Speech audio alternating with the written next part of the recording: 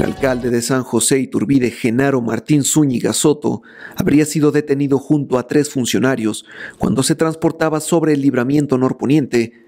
en la ciudad de Querétaro, en un punto de revisión entre los límites de Guanajuato y Querétaro. Se le encontraron dos armas de fuego, de las cuales no pudieron acreditar su portación legal. Debido de los trabajos operativos coordinados que se despliegan por parte del personal policial de las corporaciones de la zona metropolitana de Querétaro en los distintos puntos limítrofes con el estado de Guanajuato,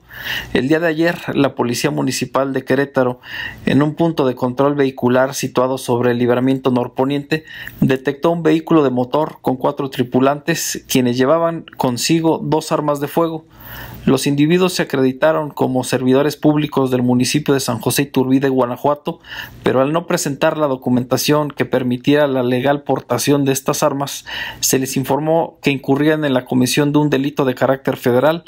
por lo cual tras leerle la cartilla de derechos, fueron presentados por policías municipales adscritos a la Guardia Municipal ante la Fiscalía General de la República, instancia encargada de dar continuidad a las indagatorias. Sin definir nombre, el secretario de Seguridad Pública del municipio de Querétaro, Juan Luis Ferrusca, informó que fueron presentados ante la Fiscalía General de la República, instancia encargada de dar continuidad a las indagatorias por la comisión de un delito federal, luego de leerles sus derechos.